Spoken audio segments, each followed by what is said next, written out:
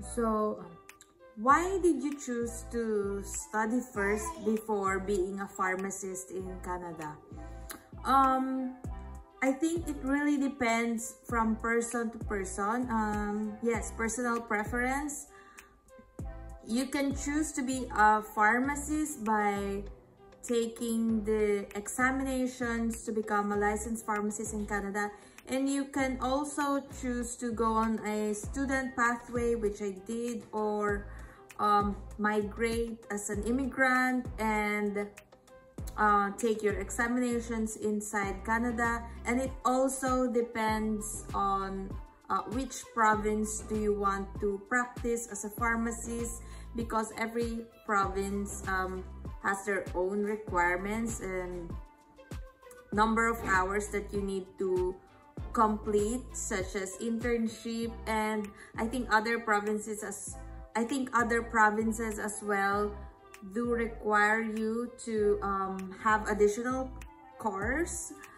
Um, it really depends on uh, which country did you graduate in and your credentials as a pharmacist so yeah there are so many factors to consider but for me so I choose to uh, study first before being a pharmacist because I want to indulge myself in the culture first and I wanted to check the country, um, if I like working to be a pharmacist there. I wanted to see the practice if it's for me or I might as well um, practice a different profession when I arrive there.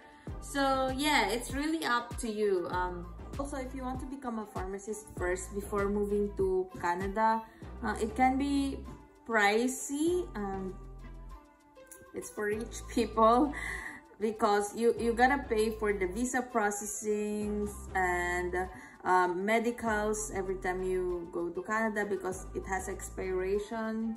Um, what else?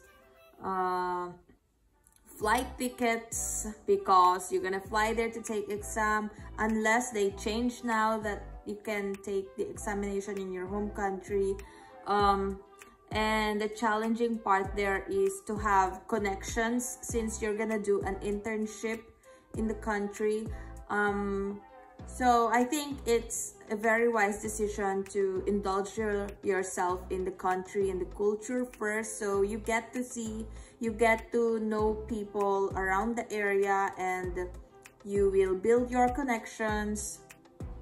So yeah, you, you, you have to consider these things as well.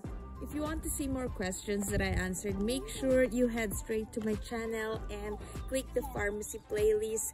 Uh, that's it for now. Thanks for watching. Bye!